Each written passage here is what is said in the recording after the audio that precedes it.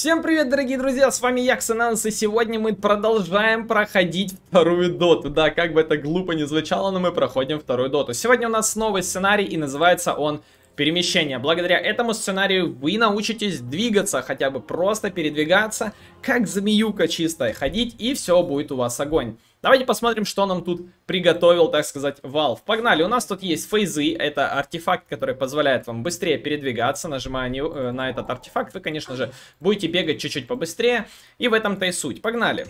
Наступили мы здесь на задание, и у нас тут есть, смотрите, задание. Перемещайте героя к следующей метке, передавая камеру, подводя курсор мыши к краю экрана. Если вы хотите вернуть камеру на героя, нажмите на его портрет. Не обязательно, можно нажимать на F1, можно на Ctrl-1, образно забиндить Ctrl-2 или Ctrl-1. То есть, когда вы нажимаете Ctrl, Ctrl, вы можете забиндить. То есть, вы зажимаете Ctrl, зажимаете единицу, и у вас герой становится на единицу. И погнали, что у нас тут есть? У нас тут такой простенький ландшафт, и мы сейчас его будем проходить. Передвигаем тут между лесов, можно даже между деревьев побегать вот так вот по кругу. Это, в принципе, все сделано для того, чтобы вы немного привыкли э, к текстурам Dota 2. Так что не забывайте, ребятки, что это очень даже полезно. Погнали. Даже для меня это полезно, для человека, который 5 лет не играл в эту игру. Погнали. Дошли мы до сюда. Следующее, что у нас тут есть?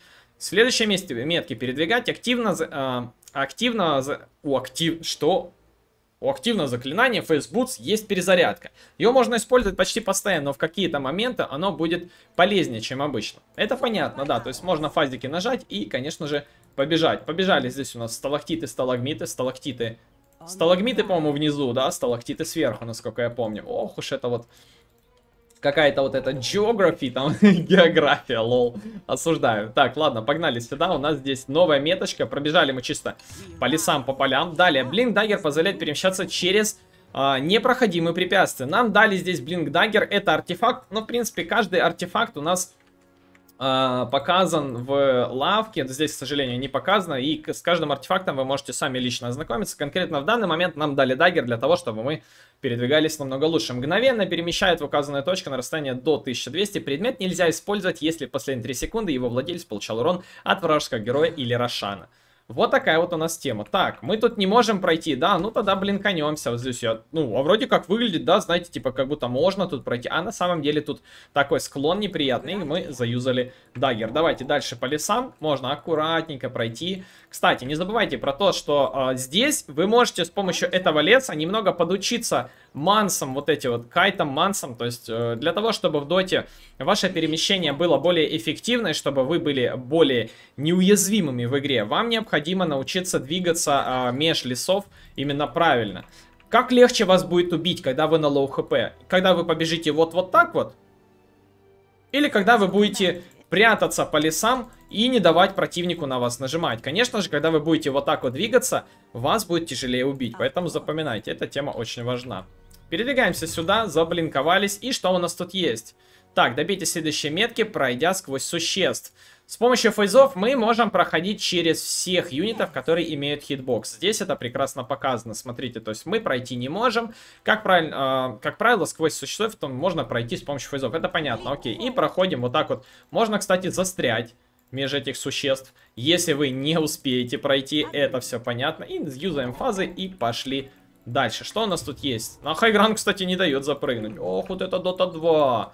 Так, у нас тут есть два пути обхода. А как лучше пойти? Кстати, вот тут должны быть кемпы, насколько я знаю. Погнали по низу. Пойдемся по низу, посмотрим, что у нас тут есть. В принципе, ничего. Выходим на речку. Идем к следующей цели. У нас там еще очень много прохождении. Тут у нас есть руна. Сейчас мы ее подбирать, скорее всего, будем. Так, руны временно усиливают героя. Подберите руну ускорения, нажав на нее правой кнопкой мыши. И бегите к следующей метке. Руна активируется, как только герой ее поднимет. Да, у нас тут руна ускорения. Наведясь вот так на руну, вы можете спокойно ознакомиться с. Увеличивает скорость передвижения до максимума. То есть, когда вы ее подбираете, все, вы начинаете бежать очень быстро. Это сигнализирует у нас а, еще определенный звук такое, знаете, ускорение, и вы можете передвигаться очень быстро. Давайте мы вот так вот, такими путями будем проходить, нестандартными. Так, хорошо, к меточке подошли. Нам теперь предлагают изучить прыжок на Миране. Так, ну, у нас тут Мираны, в принципе, это понятно. Мирана это определенный герой, у которого есть... Каждый доти герой имеет определенные способности. Конкретно у этого героя есть прыжок. И сейчас с помощью этого прыжка мы будем что-то делать. Лип позволяет перепрыгивать через препятствия или запрыгивать на возвышенность. А, применение способности лип потратит один заряд. У нас тут три заряда на лип, так что не забывайте. Дагер и фейзы нам заблокировали, смотрите, обратите внимание. И, конечно же, подходим к краю и перепрыгиваем. Все очень просто. Нажали ход КЕ и прыгнули. Довольно-таки интересное задание, если честно. Я даже не думал, что это настолько будет забавно, но в целом пойдет. Окей. Так, далее идем к новой метке и, конечно же, подходим. Что нам тут уготовано судьбой? Переместите героя к следующей метке. Форстав толкает существо или героя на небольшое расстояние. Толкните мешающее вам существо, нажав на иконку форстав или на его горячую клавишу. Затем выбрать цель левой кнопкой мыши. Передний форстав позволяет проходить через препятствие, нажмите на него дважды, чтобы автоматически толкнуться вперед. Да, это все понятно. Вы можете эту тему перепрыгнуть.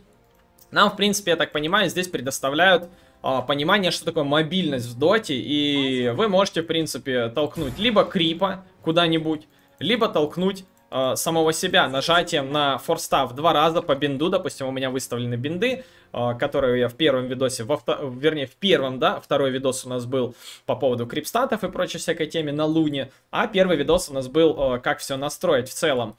Ну и нажав форстав два раза на себя по ходке, вы, конечно же, ускоритесь вперед и э, тем самым проигнорируете либо э, какие-то заторы, либо, конечно же, можете кого-то толкнуть, и он при этом срубит деревья и тому подобное. То есть такой смысл. Так, нам предлагают идти вот туда, на основную точку. Можно здесь побаловаться, даже подвигаться как можно быстрее, жать фейзы, форстафиться тут. Ну, чисто для того, чтобы понимать, как это все работает, рекомендую вам зайти на эту карту, конечно, и просто подвигаться, покайфовать. По кайфу, по кайфу. Двигаемся дальше, идем к новой метке, что нам там приготовили интересно, я не знаю. Но, наверное, там уже будет конечное, так сказать, ознакомление будет закончено. Так, запрыгиваем сюда на хайграунд. И, в принципе, все, сценарий пройден, ребятки. Для того, чтобы понимать, что такое мобильность в доте, вот этот сценарий отлично подходит. Все, сценарий мы прошли, победка, ребятки. Вот такой у нас коротенький видос. Рекомендую, ребятки, зайти и поиграть это перемещение. Очень коротенький сценарий, но в целом более чем понятно, как тут все работает, ребятки. На этом все. С вами был Ксеназус и до скорого.